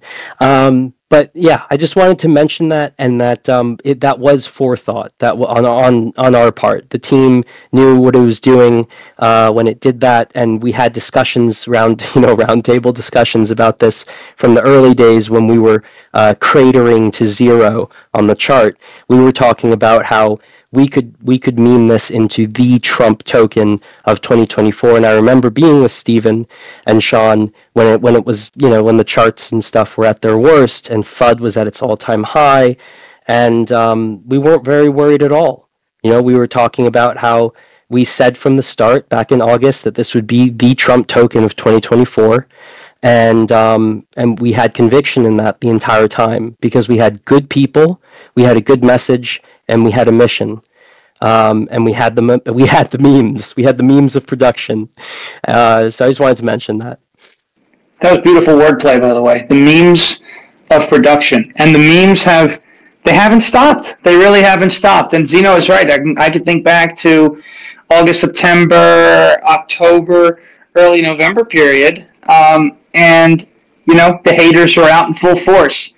But see, haters are some of your best fans. They do the most talking about you, and uh, and I, I just loved seeing all of them kind of go away. They all kind of faded away, and they're still around. But you know, we took off, and the uh, the transparency of the project, the the uh, charitable contributions are second to none. Go ahead, Roger. Pardon me. Trust me, I generate more than enough hate for everybody on this call. Trust me, please trust me. Uh, the unhinged left who keeps insisting that we're the intolerant ones, they are the intolerant ones. Uh, and sure, there's going to be some snarky comments, but controversy is what draws attention, and attention is what sells solid meme coins. So uh, we've let this work for us, which I'm convinced, of course, it will. Gentlemen, carry on. Very well said. I want to get to, uh, he spoke last week. Interesting story. Um, you know, very enthusiastic about Trump and our project is our friend Fletcher down there. Uh, Fletcher, I remember what, what, we what you had shared with us last week, and you don't have to share it again if you don't want to. But uh, I'm curious what you'd like to add tonight. Uh, it was a pleasure hearing from you last week, two weeks in a row. Go ahead, Fletcher. Brother, it's an honor to be on stage with Roger Stone right now. I just feel so good. I feel so pleased. I, I'm, I'm like overwhelmed with happiness to have Roger Stone here with us today. Um, Roger, that I have one question for you. Who are you going to vote for? Is it going to be Obama or Trump? Thank you. Let me let me address your question. First of all, anybody who's active on Twitter Spaces knows that I do Spaces very, very rarely because they can consume you. You know, so I, am honored to be here, but it's one of the few spaces you will find me on. Uh, and going forward, I think that will continue to be true. I'm going to continue to participate, but I, I don't. I don't do a large number of them. Uh, I, I, do think, as I have said, uh, that there's a high possibility uh, that the Democratic Party will replace Joe Biden as their nominee. This could be easily mechanically done, just uh, legally done, just before their convention. Uh, Biden will have amassed enough delegates at that time to be nominated. he can simply announce his withdrawal from the contest, but not his resignation as president, and release his delegates who would then be free to vote for any candidate they wanted. At that point, I've suggested that I believe uh, that the Democrats will seek to draft Michelle Obama as potentially their strongest possible candidate. Now, I've been saying this for two years. It is certainly legally possible. It's also becoming politically more likely uh, as Biden continues to trail in the polls uh, and as Biden's policies continue to have a disastrous impact on the country. So I think we have a unique situation where the last president uh, to serve as president, then uh, be defeated in a disputed election, and then come back and win that White House again was Grover Cleveland. Uh, he was a Democrat, but he was more importantly a New Yorker, like Trump, who is at heart uh, a New Yorker. So uh, I am very proud from the beginning to be among those, I think, among the first people in the country ever, going all the way back to 1988, to urge Donald Trump to take a serious look at the presidency. Uh, and then uh, I was, uh, I think, first to say, look, uh, I don't think this came out right. Uh, I, I, think the, this guy's policies are going to destroy the country. Yes, you do have to run again. I mean, if this were really about Trump, and remember, they tell us constantly that it's all about Trump. It's just, it's all about his ego. Well, if that were true, then he would just walk away. He could have the greatest life in the entire world if he just walked away. Uh, but he doesn't walk away. He's not in this for him. I've known him 45 years. He's in this for us. He's in this because he loves the country, doesn't like seeing what's happening to it. Uh, we had the most strongest, most vibrant economy in our history. We were at peace. We had no new wars. We were successfully bringing our men and women home from combat uh, and from service abroad without the countries they left collapsing into the hands of the enemy when they left. Uh, we had Vladimir Putin at bay. He wouldn't dare invade Ukraine as long as Donald Trump was president. Was Trump who gave Ukraine the first lethal uh, aid. Obama gave them pillows. Donald Trump gave them weapons. Uh, the Chinese would not move on Taiwan if, if Trump were president. Uh, the we, would not have funded Iran. See, we're on both sides in the Middle East. We the idea that we could unfreeze 106 billion dollars and give it to the Iranians based solely on their word that they would, yes, they will, we promise we'll use this for humanitarian purposes only. I don't know how naive anybody could possibly be. So uh, none of this would uh, would uh, have transpired if Trump were president. He is the peace candidate in this election, uh, and I think uh, every day that goes by, the American people will want peace more and more. Yes, sir. Yes, sir the first president that I ever voted for, I'm 37 years old. The first president I ever voted for was Donald J. Trump. And I believed in him and I believe in him now. And um, I hope this goes through. I, I, I don't want to see no, you know, election fraud and these people stealing votes because that's the only right that I have as an American citizen is to vote. I mean, I feel like that's the, the number one thing that you can't take away from me. They took it away 2020, but I don't want them to take it away from me 2024. I'm voting for Trump. Love Trump. I love this coin. I love everybody on this space. Let's fucking go Trump. Boom.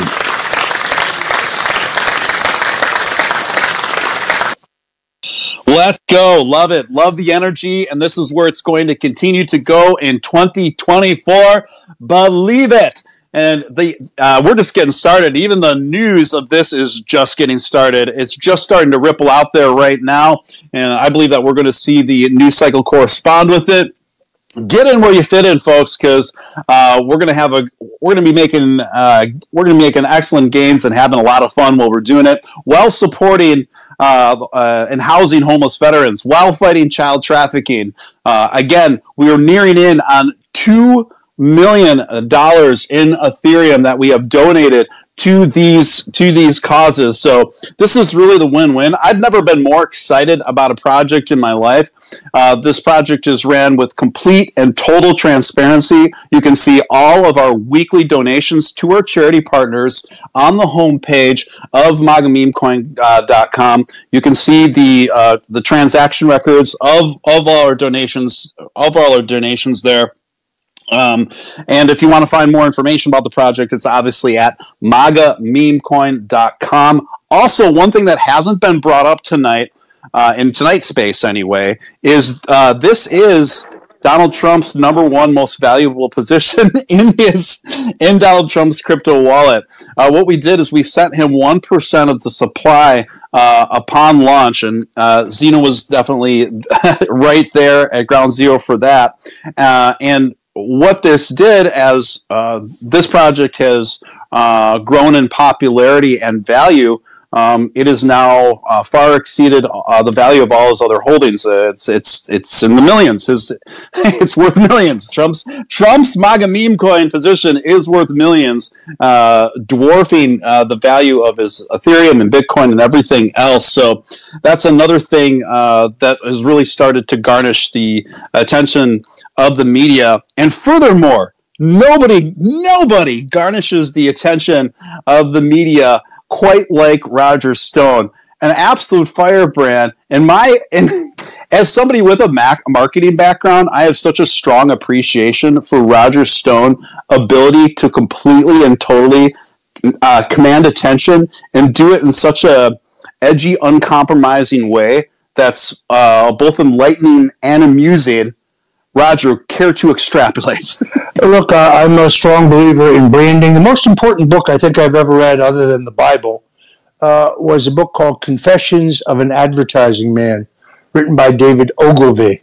You can find it very easily. It's online. It's in paperback. It's uh, it was written in the '60s, but it is it is a, the single most important thing uh, I have used in terms of learning how to communicate through mass communications. Now, when you consider that the book was written in the 60s, it makes references to magazines and newspaper and radio and television. Uh, today, you just take the same lessons in that book, uh, Confessions, Confessions of an Advertising Man by David Ogilvy. It's an extraordinary book. Uh, you just have to you just have to recognize that all of the lessons there just can be forwarded now to the internet age. So instead of how to design a poster, there's one of the chapters is entitled How to Design a Poster. It would be How do you design a splash page? Uh, would, but, but all of the lessons are, are sorts extraordinarily transferable. So it is in that book that I began to understand the beginning of branding. Uh, I do this V for Victory thing that I completely ripped off from Richard Nixon, but you'd be shocked how many people say, hey, do that thing that you do without knowing the history of it. I did it outside the federal courthouse in Washington, D.C. Uh, the judge wasn't too happy about that. She she told me specifically as part of my gag order that I could never do that again, uh, but I did do it again, and here I am. So uh, branding's important, and, and, therefore I think it's important to get the word out about MAGA meme coin because we are based on everything I've studied, uh, and I believe me, I did a lot of due diligence uh, be, before I agreed to the strategic partnership. But based on all of my research, we are entirely different than any other product out there in this market. So why we're going to make history, uh, and uh, why I'm now going to use some of the marketing techniques that I have learned uh, in a 45 year career in American politics to educate people about MAGA meme coin and to educate them about how to buy it because I personally myself still haven't figured that out. that is awesome. Uh, Roger, you know my line is open to you 24/7, so um, just let me know any other any other questions I could uh, I can uh, be of service to you about. Um, beautifully said and just a home run answer there and uh, much appreciated for that. Um, and, and, we just got such a quality uh, group of individuals that we are assembling here. I believe that we are putting together a dream team, a dream team of sorts. I use the A team analogy earlier, uh, and I believe that uh, that, that analogy is coming uh, into reality. Um, look, we've got we've got Shawn Dom, the legendary Roger Stone, Jackie Dutton, Phenomenology. By the way, Phenomenology and I uh, have a, a, a, pretty long history together uh, through X, through Twitter, and I just had to reach out to her because I saw that she was struggling with some um, chronic, uh, chronic, pretty debilitating chronic health issues. Um, and I actually have, uh, I'm no stranger to that, and I've uh, fortunately have pulled myself out of much much of that. Uh, and so when I saw her, I'm like, I got to get her on board. Uh, we're gonna do this, uh, and she's gives so much to the uh, so much to the MAGA populist uh, community. Uh, and it's so great to be onboarding people where this is their first experience with crypto. A lot of crypto projects talk about the potential of doing that. And it usually just equates to being a bunch of freaking hot air. But here with MAGA Meme Coin, we are actually doing that. We are actually onboarding Trump fans, onboarding um, people involved in the in the MAGA move that have no previous experience with uh, with cryptocurrency, and now. Uh, that is only going to be put on steroids as we move forward into this election season. Uh, anyway, I don't know if you have anything more to add to that, Phenom. Well, I yeah, you're one of the first people I met here on X doing spaces, and we've built a really fun friendship doing that. And I didn't really talk about um, what I was going through, but there's only 5,000 people that have been diagnosed with what I have. Uh, I won't bore the audience with that. it's in my bio, but I just thought it was so neat what they were doing, but I just wasn't in a place to do much. And he just, uh, the whole team here made a generous you know, donation to me. Uh, and I'm so proud to be part of that. And I'm so grateful because you guys are doing really good things. And I'm, uh, it's taken a lot from me as far as mobility and other things, but I'm still here fighting from my bed for President Trump, teaching people how to become precinct committeemen, how to become poll workers, how to become poll watchers, getting the word out, doing MAGA money bombs for people to donate to President Trump's campaign. And now I'm proud to be learning and talking about what you guys do. So there's no stopping us. We're going to fight till the end. Let's go. Let's go. Uh, pleasure, pleasure to have you, uh, and it's uh, my friend. It's just it's so it's so great to be bringing on board uh, uh, some of the people I just have uh, the utmost respect for out here, and so it's it's all coming together, folks. All coming together, folks. Um, uh, Shawn, you've been you've been quiet for a bit. I don't mean to uh, bogart the mic, sir. No, no, it's fine. I, I, love the way that the conversation naturally flows, and I love everything that Roger has been adding to the uh, adding to the space and everything, and, and, all of our speakers. I have to be honest. I mean, it's a different viewpoint from every person. I'm so happy. I'm just stoked uh, to see somebody like Roger Stone on board with us. It's just it's amazing. The enthusiasm is through the roof, uh, and it's coming at a great time because you know over the course of really the last couple of weeks we've been bombarded with a lot of negativity. Think about what happened on Easter, uh, with that being you know marred by the Biden administration as a trans day of visibility because they're not visible enough. Uh, think about all the illegals that are coming across the border, the stuff that they're throwing at at uh, President Trump right now, not just with the the Alvin Bragg Twinkies trial. Um, but with the Letitia James judgment and all of this garbage that's just been happening, we've been getting pounded with negative news, negative news, negative news, and then comes this anomaly called Tuesday nights, uh, where we talk about our project, what's coming, and you know we've been hinting at it for months. There's a major partnership in the works. It's coming. It's happening. It's happening. It's coming. And and now here we are, uh, and it's been delivered. And I think you're right, Stephen, and everybody who keeps saying it. This is only the beginning, guys. It's April. We have been saying Zeno. I remember you've been saying it, Stephen. You've been saying it. We've all been saying it since the day this token launched, right around this when the first couple spaces started happening. That you know the the real go time. Sistine Research has been saying this too. Is going to be you know 30, 60, 90 days before election time. But before then, it's going to be up to us, the community, and everybody to get on board and to just drive this thing. And there are nobody, there's nobody in the game right now, in any game, that is a better driver of a message than a Dom Lucre or a, a Roger Stone or Jackie with, with what she does with crypto and Steven, how creative you've been, and everybody who's just involved. It's just really, really cool uh, to be a part of a team like this um, this early with the cause. It's all about the cause. You know, I wouldn't want to be involved with something that's not with it where I'm at. And, and I, I think we're all pretty much, especially on the team, on the same page there. Um, you know, I mean, I'm sure if we all sat down and, and, had drinks for an evening, we'd have our differences, but we're there for the cause. We're helping veterans. We're helping kids, uh, you know, with, with regards to getting out of child trafficking, fighting child trafficking, and that speaks volumes. You can't find it anywhere else. And now we've got star power. You know, we're assembling, uh, as, as Stephen called it, the A team. or the Dream Team, or you know that Heat Miami Heat team with LeBron James and Dwyane Wade and Chris Bosh and all them, and they talked about how many championships we were going to win. I think our team is going to win more than any other Dream Team in history, and I'm just I'm just super stoked about it. I don't know if y'all could tell, but I'm I'm very excited, and uh, you know, and, and that's just where I'm at. So don't mistake my quietness for anything other than I'm just, as Jackie said, been smiling the entire time. Um, with that said, I think we're nearing the end tonight. As much as I don't want this space to end, um, I do want to go. Let's go over to uh, let's go to Dom Lucre first. Uh, Dom, closing thoughts. How are you feeling about this partnership, about the project going forward? What's up, man? I've been uh, pretty stoked about it ever since I found out that Mr. Stone was going to be coming on. Uh, Mr. Stone, he's a very great, very great man. You guys said everything there can be said about him, and very well dressed. I got to actually make his best dressed list of last year. He's very kind and one of the most intelligent men I've ever had the chance to get to meet. So definitely excited to have him here and have the chance to be speaking with him on these Tuesdays. Moving forward, I agree with what everyone's saying this isn't even the start. It will be election season. Meme wars are going to start up. There's going to be backlash. Democrats are going to be pissed. Uh, like you say, the haters will appear more so in November, especially the bots, is going to push the message further.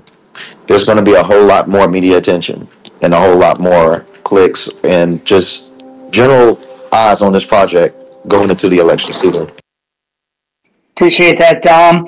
Uh, Jackie, you want to head up for uh, closing thoughts? Uh, yeah, I'm. I'm just so glad we can all talk about it now. I hate keeping secrets. Christmas is the worst for me. It's just. It's so nice that we can just give this gift, and everybody knows now. um, so, uh, within the next week, crypto wise, look out for um, all of the events around the halving. Uh, there's a huge crypto conference going on right now in Dubai called Token 2049 or I don't know, it's 4029, I don't know. But um, Dubai is currently under like three feet of water, and your favorite influencer is probably trapped. So say a prayer. And um, yeah, just uh, always, you know, make sure you protect your seed phrase with your life, your phone. Don't connect to sketchy sites. Don't click any weird links. Um, there was something that said uh, Trust Wallet figured out that hackers on the dark web are trying to use some loophole through iMessage. So if you have a lot of crypto on your iPhone, you might want to just disable the iMessage feature for now until that gets updated. Um, and otherwise, um, you know, always just uh, be safe out there. Don't don't wave your phone around. It, it's your your wallet, your money, your life. You know, um, so be very careful with that. And if you have any questions, as always, don't hesitate to ask. We do not do airdrops. We do not give away free crypto. The Trump Project does not. The MAGA meme coin does not do that. So, um, you know, it never hurts to just pause and ask. You don't need to just go ahead and click right away. You will always regret that. So exercise a little patience. And otherwise, yeah, I can't wait for all the weeks to come. It's just been so great. And uh, we're just so excited to have Roger and everybody here. I, I can't I couldn't have said it better myself. The only thing I could say about that is I use an Android, so I drive iPhone users crazy. I am Mr. Green Bubble, the greatest bubble the world's ever seen. We love the green bubbles; they're tremendous. They work all the time. People don't like it, but I love it, so I don't have to worry about that. Just I always like to poke fun at my uh, my iPhone friends. You know, I get all your features about two years before the iPhone gets it. Anyway, um, anyway, I have a final question. Oh, I have a. I hear somebody is going off with some Morse code in the back. Uh, Phenom, go ahead. So, for Mr. Stone, my grandmother, Rosa Pascoletti, would always throw some salt over her shoulder whenever she was making Sunday gravy. She swore that you couldn't make gravy without it, and I'm here to ask you, since she's not any longer, is that true? That is completely and totally true. Uh, my grandmother, whose real recipe was passed down to my mother, which was passed down to me. There's a lot of debate about this. Let me try to explain to people. It, there's a certain geographic section in the New York, New Jersey, Connecticut area where sauce is referred to as gravy. Now, a lot of people think gravy is brown or they think of turkey gravy or chicken gravy. No, this is tomato gravy. You can call it sauce, you can call it gr- gravy. It doesn't really matter what you call it as long as you use San Marzano tomatoes. Now, San Marzano is not a brand of tomatoes. San Marzano is a style of tomato that is grown in a very specific valley in Italy. Uh, when you see tomatoes marked with DOP, D period, O period, P period, that, that's a certification that what you're getting is a genuine San Marzano tomato. Uh, I started giving out my mother's, my grandmother's recipes on 77 WABC radio on Sunday afternoons. I had no idea how popular this was going to turn out to be. So uh, last weekend we did uh, my father's favorite was spaghetti and pork chops in, in a, in a light tomato sauce. Uh, my meatballs was very popular. Your, your mother is a very smart woman. That's very clear. Thank you so much. It's great to hear that culinary insight uh, from Roger Stone, and he, he's uh, listen the Italian side. Uh, the sauce gravy argument always makes for uh, for good dinner table conversations. Uh, Roger, we're doing closing thoughts now. Um, I want to get to you, the man who has done nothing wrong, folks. Roger Stone did nothing wrong. I remember seeing the raid, the original raid. You know, CNN was somehow got tipped off to it, and I was so furious. I was working for Sherwin Williams at the time and I almost threw my phone into the paint mixer and turned it on. I was so mad. But Roger, closing thoughts, first space with us. Pleasure to have you here. What's up? Uh, I appreciate that very much. Look, uh, uh, there's two ways to look at this. Uh, on the morning of January 25th, 29 fully SWAT clad uh, FBI agents brandishing fully automatic uh, M4 assault weapons surrounded and then and then stormed my home uh, to arrest me for the completely fabricated crime of lying to Congress uh, in my voluntary testimony under oath regarding uh, WikiLeaks disclosures and Russian collusion that I literally knew nothing about, and they could produce no evidence that I knew anything about. Uh, and I was arrested at 6:06 in the morning, but at 6:11 in the morning, my lawyer, who did not know that I had been arrested and that my wife had been terrified, because uh, she is uh, hard of hearing. She woke up looking down the barrel of two guns. She didn't know whether it was a home invasion or what had transpired. She didn't hear the ruckus of my arrest, and pounding on the door. The FBI agents brought this giant battering ram up to the front door as if I wasn't going to open it. Uh, and they said I had to be arrested in this way because I was a flight risk. Yet four hours later, when I was arraigned at the federal courthouse, they didn't ask for any cash bond for my release, proving they never believed I was a, a flight risk. Uh, at 6.06, I was arrested. At 6.11, my lawyer gets a text message from uh, someone at CNN who says, Your client has just been arrested. And he says, Really? Arrested for what? They, and they this person at CNN texted my lawyer a copy of my sealed indictment the indictment was not unsealed until 10:30 that morning. This was at 7:07. It had no uh, court markings, no timestamp on it. Uh, but when you open the metadata tags, uh, you can see the person who wrote it, Andrew Weissmann, uh, the de facto head of the Mueller Goon Squad, uh, and now the chief uh, legal analyst for MSNBC. This is the man whose Enron case was unanimously overturned by the Supreme Court uh, and the judge uh, admonished him for prosecutorial misconduct. So when you see him on TV talking about how great the Enron case is, you got to look that up. Uh, my wife and I went through a, a horrific two and a half year uh, struggle. We lost everything, frankly. We lost uh, our home, we lost our savings, we lost a small account that we were building for the college education of our grandchildren. I had to sell my car. Uh, we lost most, but thank God not all of our insurance. I was gagged by the judge. I couldn't travel freely without permission. I couldn't speak. I couldn't write. Couldn't do any of the things that I do to make a living. Uh, and they put ungodly pressure on me to testify falsely against Trump. That's what they wanted the entire time. It's why they fabricated this. Uh, and uh, look, I, I, thank Jesus Christ every day. I prayed fervently to be uh, to be uh, saved, to be lifted up. The president saw that I had done nothing wrong. He saw I was being persecuted as a way to get at him. Uh, and uh, yes, he did commute my sentence, but he also gave me a full and unconditional presidential pardon, which, if you go online right now, you'll have a really hard time finding. It's amazing. So, uh, look, I, I thank God for every day. Uh, some of you know my wife uh, was diagnosed with very aggressive stage four cancer almost immediately after my pardon. Doctors were not very optimistic. Uh, I, I, can tell you through the grace of God, she's now going on three years cancer free. She had some minor surgery to deal with some of the side issues very recently. She's doing really, really great. So uh, I, am thank you. I, am grateful to be included in MAGA Meme Coin. Uh, it's a new frontier for me. I'm going to be learning as I go along. But one thing I can do is sell. I know how to sell. So I can tell people the attributes uh, uh, of buying this coin, of purchasing this coin, and telling others about it. Yes, I benefit. I disclose that fully. There's no question about it. So, uh, so the, the the new ad on the front of my uh, website at stonezone.com is a sponsored ad. Uh, on the other hand, uh, everybody here understands that this is additive, like politics. Uh, this is about inclusion, not exclusion. I think we have an exemplary coin here. It makes a lot of sense when you read about it. But above all, let me finish by saying this. I wanted to own uh, the crypto coin that Donald Trump owns. That's what I wanted, and now I have done so. So I'm proud to be on board. Thank you so much, Roger. Really appreciate having you. We're proud to have you here, and uh, we're excited for the road ahead. Very, very excited.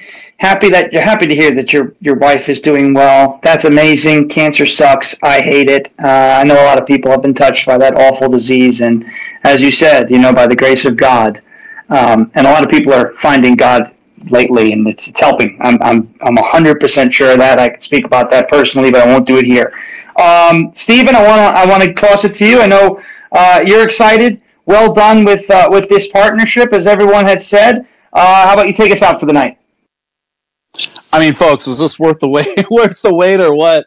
Uh, I, again, uh, thank you so much to, to, Roger. He and I have been corresponding uh, for uh, about this for for a bit and just ironing out all the details. So happy to finally be here tonight with him uh, and pr- so proud to be be partnering with him on this.